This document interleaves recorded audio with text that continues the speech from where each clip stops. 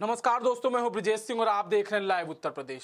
पाकिस्तान ने अपनी खस्ताहाल अर्थव्यवस्था में जान फूकने के लिए वैश्विक निवेशकों को लुभाने के लिए बैले डांस का सहारा लेना शुरू कर दिया है। अभी हाल ही में निवेशकों को लुभाने के लिए बैले डांस का आयोजन किया गया था। अजरबैजान की राजधानी बाकू में Sarhad chambers of commerce and industry द्वारा 4 से 8 सितंबर तक आयोजित खैबर पख्तूनवा निवेश अवसर समारोह में विदेशी निवेशकों को लुभाने के लिए अन्य गतिविधियों के अलावा बैले डांस का भी आयोजन किया गया। देखिए हमारी खास रिपोर्ट। बैले डांस का यह वीडियो सोशल मीडिया पर वायरल हो गया, जिसमें महिलाएँ डांस करती नज़र आ रही हैं। ट्विटर पर कई लोगों ने इसे लेकर प्रतिक्रिया दी है। पाकिस्तान की कुछ स्थानीय मीडिया वेबसाइट और ट्विटराती ने इसे नया पाकिस्तान करार दिया।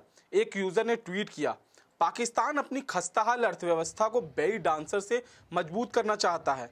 इसके बाद क्या होगा? एक अन्य यूज़र ने लिखा कि पाकिस्तान की अर्थव्यवस्था को मज़बूत करने के लिए अतुल्य कार्यक्रम अगर अर्थव्यवस्था इससे भी खस्ता हल हुई तो क्या निर्वस डांस करवाएँगे? एक ट्विटर यूज़र ने लिखा कि एक तरफ़ भारत जहाँ चंद्रयान टू लॉन्च कर रहा है, वहीं पाकिस्तान निवेशकों को लुभाने के लिए बेली डांस करवा रहा है।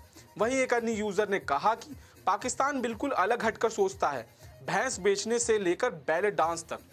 ऐसी ही खबरों के लिए बने रहिए हमारे साथ, लाइव उत्तर प्रदेश, लखनऊ।